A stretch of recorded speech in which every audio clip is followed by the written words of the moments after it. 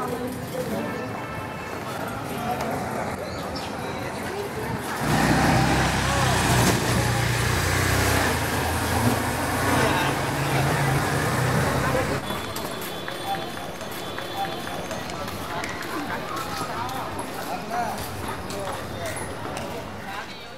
দাদা। দে দাদা। তাড়াতাড়ি কর। আর দেরি করিস না। সময় নেই তাড়াতাড়ি কর। পরশু দিনে তো দিলাম টাকা। আয় তুই পরশু দিন কয়দিন দেওয়া লাগে? আয় মেয়েটা ধরবি না আয় বুড়া আয় দেরি করিস মেয়েটা না, ধরবি না। দেরি কর। পরশু দিন তুই আমাকে দিস নি। পরশু দিনে দে পরশু দিন দে দেরি করিস না। তাড়াতাড়ি এখন দেওয়া লাগবো? দে দে দেরি করিস না রে দাদা ভালো লক্ষ্মী আমার জান আমার না গো দে টাকা দে। আজকে অফিস দেওয়া লাগে নাকি? প্রতিদিন তাড়াতাড়ি দে দে দাদা দে দে। সময় নেই সময় নেই। প্রতিদিন আবার দেয়? দে দে দে দে দে এত ঘন ঘন দেওয়া লাগবে না আয় লো, আয় এটা রাখ। এটা নিব না। রাখ। আরে দশ টাকা না। আমি দশ টাকা নিই না। দশ টাকা নিই না। দাদা আমি দশ টাকার কাজ করি না। দে। কর না। দে টাকা দে। কত দিল? দে বিশ টাকা বিশ টাকা বুঝিস না বাজারে যে দাম। না। ধর টিকিট একটা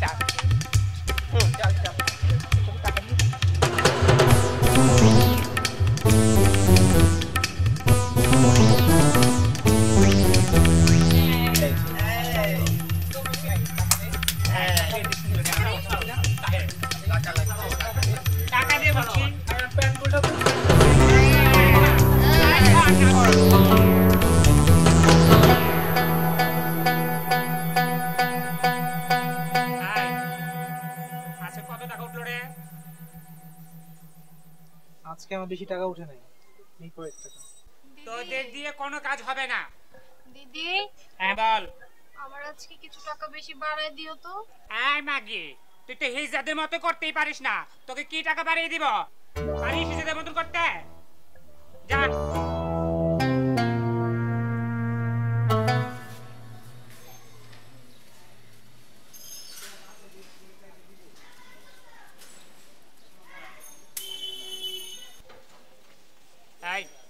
টাকা দে। টাকা? এভাবে টাকা যাচ্ছেন কেন আপনারা? টাকা দিতে ইচ্ছা করে না আমাদের? টাকা দিতে পারি না? ভালো লাগে না? মানে? এভাবে টাকা চাই কেউ? ও মা গো নাগর কি করে? শুনছস নগর টাকা দে। টাকা দিব আপনারা কি কাজ করে খেতে পারেন না? এত জ্ঞান দেওয়ার লাগবে না তোমার। টাকা দিছি টাকা দাও না দেখেন তো শরীরে হাত দাম গায়ে হাত ভয় দেখাচ্ছেন কেন? আপনাদের কি কোনো ছোঁয়াচে রোগ আছে? গায়ে হাত ভয় দেখি তো লাভ নেই। আপনারাও মানুষ আমরাও মানুষ। কাজ করে সবাই খান। ও মা গো জ্ঞান দেয় রে। নাগর জ্ঞান দেয় মাগর। জ্ঞান জ্ঞান জ্ঞান জ্ঞান।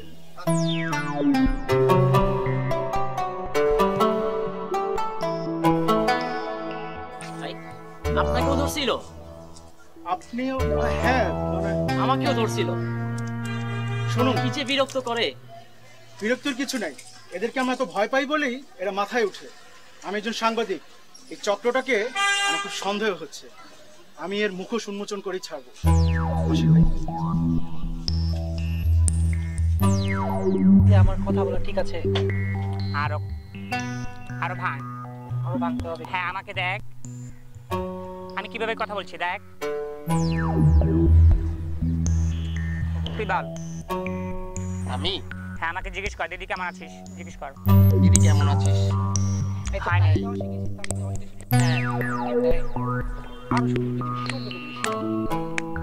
ধর মিনা আমি দেখাচ্ছি ধর ধর কর হ্যাঁ কর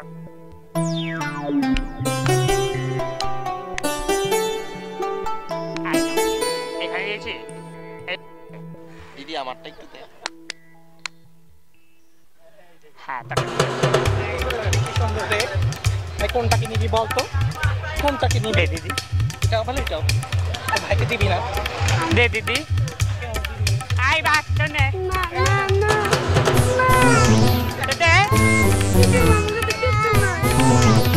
কাটছিস কেন? বাচ্চা আছে মাসুম বাচ্চা ছেড়ে দে ওকে ছেড়ে দে। বাবা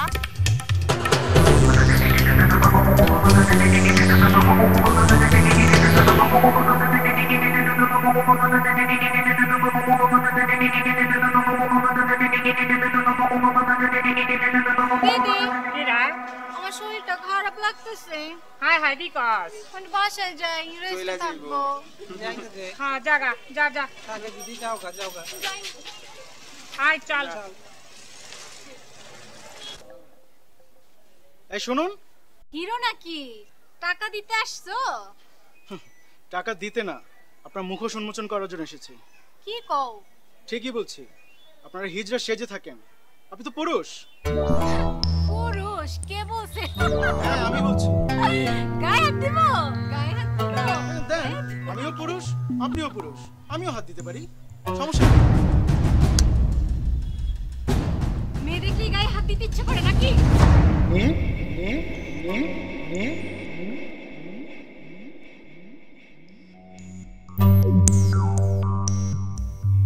তারপর বলুন আপনি একজন মেয়ে হয়েও হিজড়া কেন সাজলেন? তাহলে শুনুন আমার কথা, আমার জীবন কাহিনী।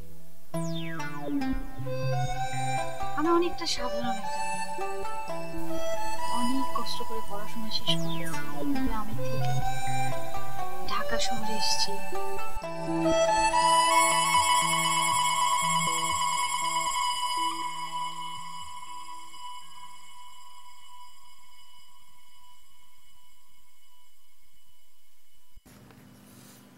嗯。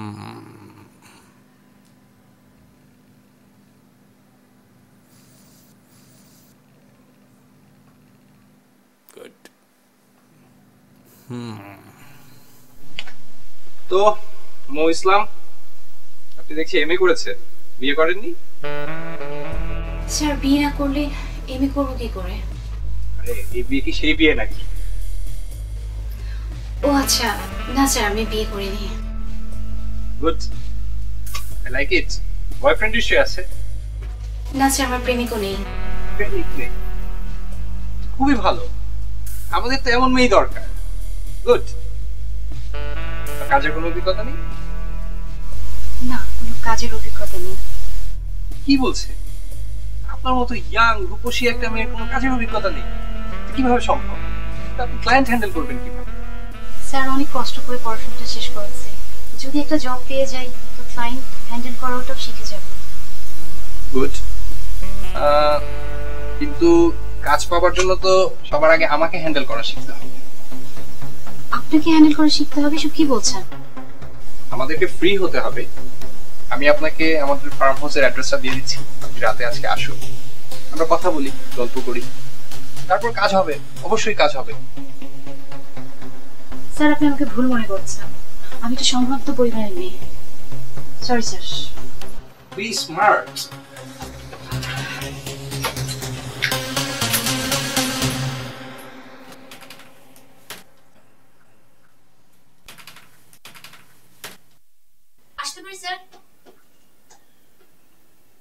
জি আসুন।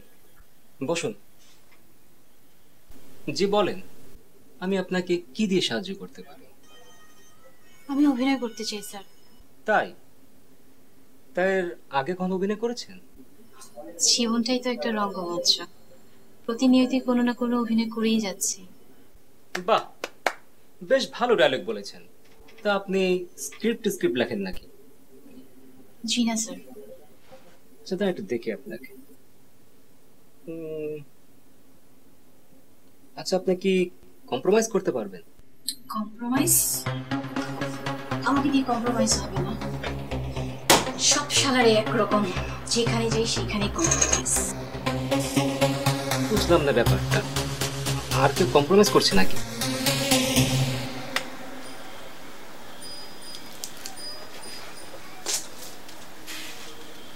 এই যে রূপবতী চার মাসের ভাড়া বাকি কবে দিবা? চাচা এই মাসটা একটু সময় দেন। সামনের মাসেই আমি চাকরি পেলে টাকাটা দিয়ে দিব। কাজ পাওয়া অত সহজ না। শেষবারের মতো বলে দিলাম এ মাসের মধ্যে ভাড়া না পেলে তোমাকে ভাড়া খাটিয়ে ভাড়া তুলে নেব।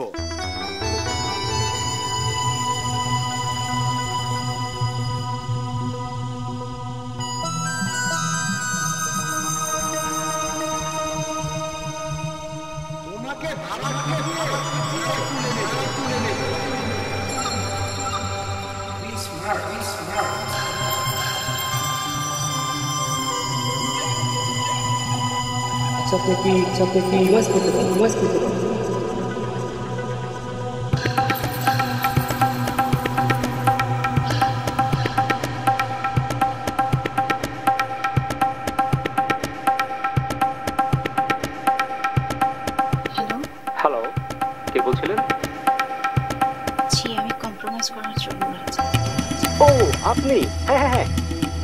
কাজ করুন। শাড়ি পরে সাজুগজু করে চলে আসুন।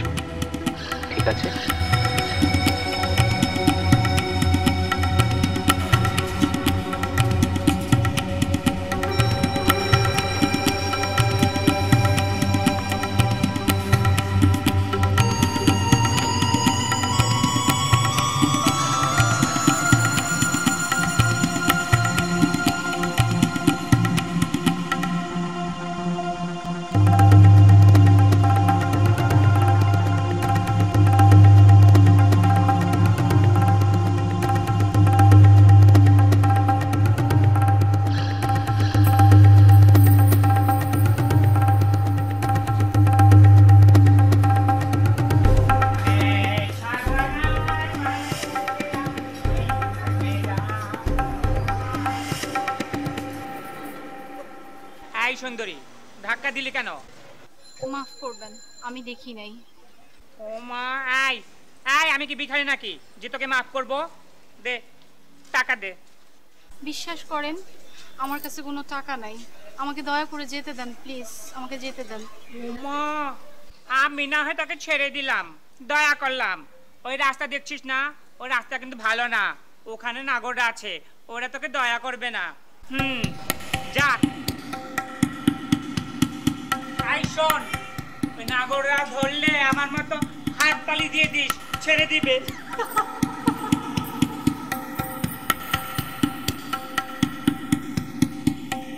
নাগররা